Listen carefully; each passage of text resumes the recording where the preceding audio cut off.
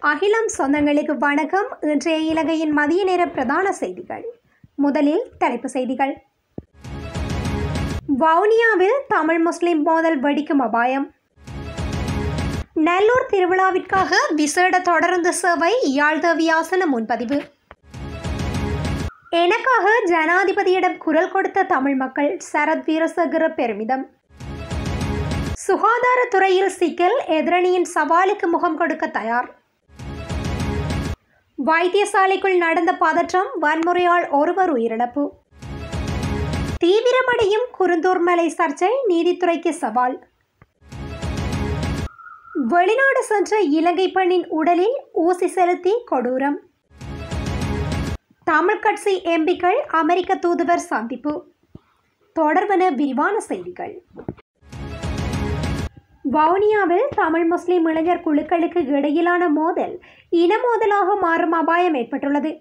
தாக்குதலுக்குள்ளான இளைஞர் ஒருவர் உயிருக்கு போராடும் நிலையில் யாழ்ப்பாணம் போதனா வைத்தியசாலையில் சிகிச்சை பெற்று வருகின்றார். தாக்குதலாளிகளை போலீசார் இதுவரை கைது செய்யவில்லை. சம்பவம் தொடர்பில் மேலும் தெரிய வருவதாவது பட்டாணிச்சோர் முஸ்லிம்கள் அதிகம் வாழும் கிராமமாகும். அதற்கு அருகிலுள்ள தமிழ் மக்கள் அதிகம் வாழும் வேப்பங்குளம் உள்ளது. முஸ்லீம் இளைஞர் ஒருவரும் தமிழ் இளைஞர் ஒருவரும் சேர்ந்து மோட்டார் சைக்கிள் விற்பனை நிலையம் ஒன்றை நடத்தி வந்தனர். நிதி கொடுக்கல் வாங்கல் காரணமாக இருவரும் பிரிந்துள்ளனர். பட்டாணிச்சூர் பகுதியில் முஸ்லிம் இளைஞரின் கடையிலிருந்து சில நூறு மீட்டர்கள் தொலைவில் தமிழ் இளைஞர் புதிதாக கடை ஒன்றை திறந்துள்ளார். இந்த நிலையில் நேற்று முன்தினம் இரவு பத்து மணியளவில் தமிழ் இளைஞர் காரில் சென்றபோது முஸ்லிம் இளைஞரின் கடைக்கு முன்பாக வைத்து சிலர் அந்த காரினை மறித்து தமிழ் இளைஞர் மீது சரமாரியாக தாக்குதல் நடத்தினர். தகவல் அறிந்த தமிழ் இளைஞர்கள் சிலர் அங்கு திரண்டதால் இரு இளைஞர் குழுக்களிடையேயும் மோதலில் மூண்டுள்ளது. சம்பவம் தொடர்பில் அறிக்கையிட சென்ற ஊடகவியலாளர்கள் மீதும் முஸ்லிம் இளைஞர்கள் தாக்குதல் நடத்தியுள்ளனர். அதேவேளை அந்த பகுதியிலிருந்து சிசிடிவி கேமராக்களையும் அகற்றியுள்ளனர். காரில் பயணித்த தமிழிளைஞர் உயிருக்கு போராடிய நிலையில் வவுனியா மாவட்ட மருத்துவமனையில் சேர்க்கப்பட்டுள்ளார். அங்கும் வந்து முஸ்லிம் இளைஞர் குழு காயங்களுடன் போராடும் தமிழிளைஞரின் சகோதரர் மற்றும் உறவினர்கள் மீது தாக்குதல் நடத்தியுள்ளனர். மருத்துவமனையில் வைத்து தாக்குதல் நடத்திய குற்றச்சாட்டில் தமிழிளைஞர்கள் மூவரை போலீசார் கைது செய்துள்ளனர். எனினும் தமிழிளைஞர் மீது தாக்குதல் நடத்திய எவரையும் இதுவரை போலீசார் கைது செய்யவில்லை. இந்த சம்பவம் இன மோதலாக மாறும் அபாயம் இருப்பதாக வவுனியா மாவட்ட தகவல்கள் தெரிவிக்கின்றன.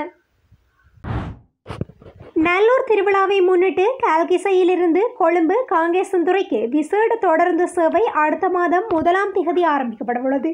இந்த தொடருந்து சுமார் மூன்று வாரங்களுக்கு இயக்கப்படும் என்றும் பொதுமக்களின் தேவையை பொறுத்து இந்த சேவை தொடரலாம் என்றும் ரயில்வே செய்தி தொடர்பாளர் தெரிவித்துள்ளார்.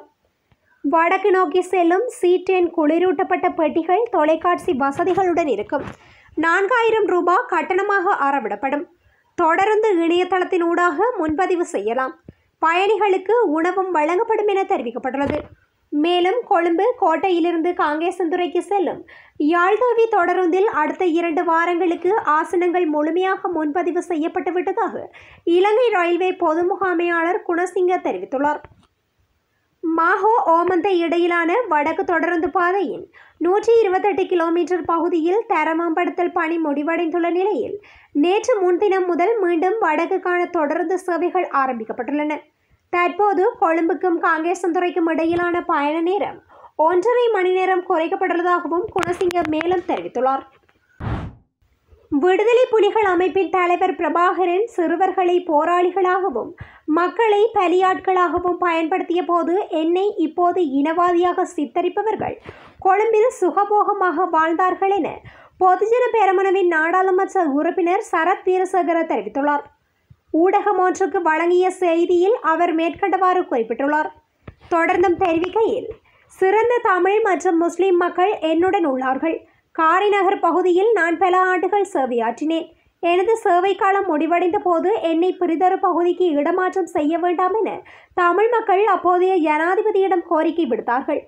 வடக்கு கிழக்கு மாகாணங்களில் மாத்திரமல்ல கொழும்பு மாவட்டத்தில் உள்ள தமிழர்களும் என்னுடன் இணக்கமாக உள்ளார்கள். ஒரு சில பிரிவினைவாதிகள் தான் தங்களின் அரசியல் இருப்புக்காக என்னை இனவாதியாக சித்தரிக்கின்றார்கள் என தொடர்ந்து குறிப்பிட்டுள்ளார். எதிர்க்கட்சிகள் கொண்டு வரவுள்ள உத்தேசித்துள்ளதாக கூறப்படும் குற்றப்பிரேரணைக்கு முகம் கொடுக்க தான் தயார் என சுகாதார அமைச்சர் ஹெஹலிய ரம்புக்வல தெரிவித்துள்ளார். சவாலுக்கு பயந்து பொறுப்பிலிருந்து விலகி தப்பியோடும் நபர் தான் அல்ல எனவும் அவர் மேலும் குறிப்பிட்டுள்ளார். குண்டசாலை தொகுதியில் நேற்று இடம்பெற்ற ஸ்ரீலங்கா பொதுஜன பெரமுன குழு கூட்டத்தில் உரையாற்றும் போதே அமைச்சர் இதனை கூறியுள்ளார். மேலும் அவர் கூறியுள்ளதாவது சுகாதாரத்துறை தொடர்பாக திட்டமிட்டு பொய் பிரச்சாரங்களை சிலர் மேற்கொண்டு வருவதாகவும் அவை அனைத்தையும் நிரூபிக்கவுள்ளது. தான் இதுவரை எட்டு அமைச்சு பதவிகளை வகித்துள்ளதாகவும் சுகாதார அமைச்சராக நாட்டில் இருபத்தி ரெண்டு லட்சம் மக்களின் சுகாதாரம் தொடர்பான பொறுப்பை நிறைவேற்றுவதற்கு அர்ப்பணிப்புடன் செயற்பட்டுள்ளேன் எனவும் அவர் தெரிவித்துள்ளார். கலவாணி வைத்தியசாலையில் நேற்றிரவு இரு குழுக்களுக்கிடையில் இடம்பெற்ற மோதலில் ஒருவர் உயிரிழந்துள்ளார். கத்திக்குத்துக்கு இலக்காகி ஒருவர் உயிரிழந்துள்ளதாக கலவாணி போலீசார் தெரிவிக்கின்றனர். கலவானி காலனியை சேர்ந்த ஒருவரே இவ்வாறு உயிரிழந்துள்ளார் என போலீசார் குறிப்பிட்டுள்ளார். கலவாணி காலனியில் இரு குழுக்களுக்கு இடையில் ஏற்பட்ட மோதலில் காயமடைந்த ஒருவர் ஆயிரத்து தொள்ளாயிரத்து தொண்ணூறு அவசர ஆம்புலன்ஸ் வண்டி சேவையால் கலவாணி வைத்தியசாலையில் வெளிநோயாளர் பிரிவில் அனுமதிக்கப்பட்டுள்ளார். மோதலில் மற்ற குழுவை சேர்ந்த ஒருவரும் காயமடைந்த சிகிச்சை பெறுவதற்காக தனது மோட்டார் சைக்கிளில் வைத்தியசாலைக்கு வந்துள்ளார். இதன்போது ஆம்புலன்ஸில் கொண்டு வரப்பட்டு காயமடைந்த நபரை மறைத்து வைக்கப்பட்டிருந்த கூறிய ஆயுதத்தால் தாக்க முற்பட்ட போது காயமடைந்த நபரின் சகோதரி தாக்குதலை தடுத்துள்ளார்.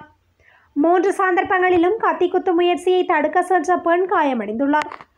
ஆயிரத்து தொள்ளாயிரத்து தொண்ணூறு ஆம்புலன்ஸில் வைத்தியசாலைக்கு கொண்டு வரப்பட்ட காயமடைந்த நபரை தாக்க முயன்ற நபரிடமிருந்து கத்தியை பறித்து துரத்தி சென்று கொலை செய்துள்ளதாகவும் போலீசார் தெரிவிக்கின்றனர். கத்திக்குத்து மேற்கொண்ட நபர் தலைமறைவாக உள்ளதாக போலீசார் தெரிவித்துள்ளனர். நீதித்துறைக்கு சவால் விடும் வகையிலும் குருந்தூர் மலையை சிலர் பயன்படுத்த முற்படுகின்றனர் என்றும் இது நாட்டுக்கு அவமானத்தை ஏற்படுத்தும் எனவும் செயலன நீதி அமைச்சர் விஜயதாச ராயபக்ஷ தெரிவித்துள்ளார். மேலும் குருந்தூர் மலையில் வழிபட சென்ற தமிழ் மக்கள் பிக்குகள் சிங்கள மக்கள் மற்றும் போலீசாரால் இடையூறு விளைவிக்கப்பட்டு திருப்பி அனுப்பப்பட்டமை தொடர்பில் எழுப்பிய கேள்விக்கு அவர் மேற்கண்டவாறு பதிலளித்துள்ளார். அவர் மேலும் குறிப்பிடுகையில் இது வெட்கி தலைகுனிய வேண்டிய செயற்பாடு. இந்த பிரச்சனைக்கு பின்னால் இருக்கும் குழுவினரை அடையாளம் காண வேண்டும். அந்த குழுதான் தமிழ் மக்களையும் பௌத்த சிங்கள மக்களையும் மூட்டிவிட்டு மோதவிட்டு வேடிக்கை பார்க்க எண்ணுகின்றது. இது நாட்டுக்கு அவமானத்தை ஏற்படுத்தும் செயல். அனைத்துக்கும் விரைந்து இணக்கமான சூழலை ஏற்படுத்த வேண்டும் என தெரிவித்துள்ளார். சவுதி அரேபியாவில் வீட்டுப்பணி பெண்ணாக பணிபுரிந்து வந்த இலங்கை பெண்ணொருவர் சித்திரவதைக்கு உள்ளாகியுள்ளதாக தகவல் வெளியாகியுள்ளது. நுவரெலியாவின் லிந்துலவை பிரதேசத்தை சேர்ந்த ஒரு குழந்தையின் தாயாரான வீரன் சிவரஞ்சனி என்ற பெண்ணே இவ்வாறு சித்திரவதைக்குள்ளாகியதாக தெரிவிக்கப்பட்டுள்ளது. சவுதி அரேபியாவில் வீட்டு பணிப்பெண்ணாக பணிபுரிந்த இடத்தில் உடலில் ஊசிகளை செலுத்தி அவர் சித்திரவதைக்கு உள்ளாக்கப்பட்டுள்ளார். சுமார் ஒன்பது நாள் மிக மோசமான சித்திரவதையின் பின்னர் சிவரஞ்சனி இன்னுமொரு இலங்கையரின் உதவியுடன் அந்த வீட்டிலிருந்து வெளியேறி சவுதி அரேபியாவில் உள்ள இலங்கை தூதரகத்தில் தஞ்சமடைந்துள்ளார். மருத்துவ பரிசோதனைகளின் போது ஐந்து நீளமான ஊசிகள் கண்டுபிடிக்கப்பட்டதாக நுவரெலியா மாவட்ட மருத்துவமனையின் இயக்குனர் தெரிவித்துள்ளார். காலில் இருந்த இரண்டு ஊசிகளை சத்திர சிகிச்சை மூலம் மருத்துவர்கள் அகற்றியுள்ளனர். சிவரஞ்சனி கடந்த ஜூன் பதினேழாம் திகதியன்று வெளிநாட்டு வேலைவாய்ப்பு பணியகத்தின் மூலம் சவுதி அரேபியா சென்றுள்ளார். கடும் பொருளாதார நெருக்கடி காரணமாகவே சவுதி அரேபியா செல்வதற்கு தீர்மானித்துள்ளதாகவும் அவர் தெரிவித்துள்ளார். தமிழ் கட்சி நாடாளுமன்ற உறுப்பினர்களுக்கும் இலங்கைக்கான அமெரிக்க தூதுவர் யூலி சாங்கிற்கும் இடையில் சந்திப்பு ஒன்று இடம்பெறவுள்ளது. இந்த சந்திப்பு இன்று உயர்ஸ்தானிகர் இல்லத்தில் நடைபெற்றுள்ளது. இதன்போது இலங்கை தமிழ் மக்கள் மற்றும் ஏனைய சிறுபான்மையின மக்கள் எதிர்நோக்கும் சிக்கல்கள் தொடர்பில் கலந்துரையாடப்பட்டுள்ளது. கடந்த வியாழக்கிழமை ரா. சம்பந்தனுடன் இலங்கைக்கான அமெரிக்க தூதுவர் யூலி சங்கிற்கும் இடையில் சந்திப்பொன்று இடம்பெற்றுள்ளது.